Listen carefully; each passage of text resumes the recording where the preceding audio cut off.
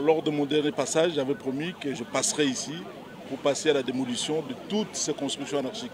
Nous avons commencé aujourd'hui et cette opération va continuer euh, durant tout le mois d'octobre jusqu'au mois de novembre.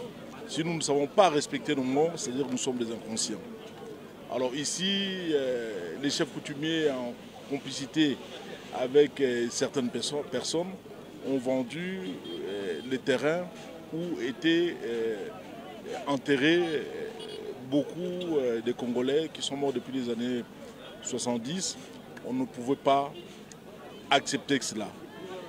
Il s'agit tout simplement des profanations, des tombes de nos ancêtres qui sont morts et enterrés ici.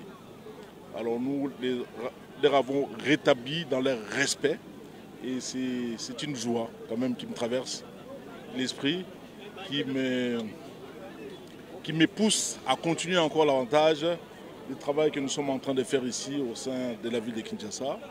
Il ne s'agit pas seulement du cimetière de Kinsuka, nous allons continuer dans d'autres cimetières également.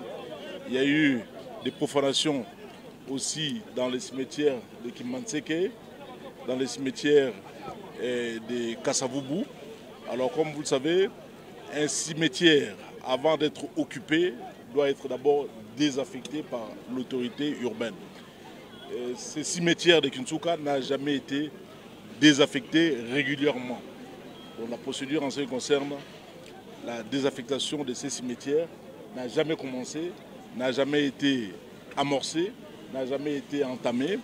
D'où nous sommes venus aujourd'hui pour démolir toutes ces constructions anarchiques et nous allons le faire sans indemnisation. C'est-à-dire que les gens qui auront perdu leur maison, leurs bicoques ne seront pas indemnisés.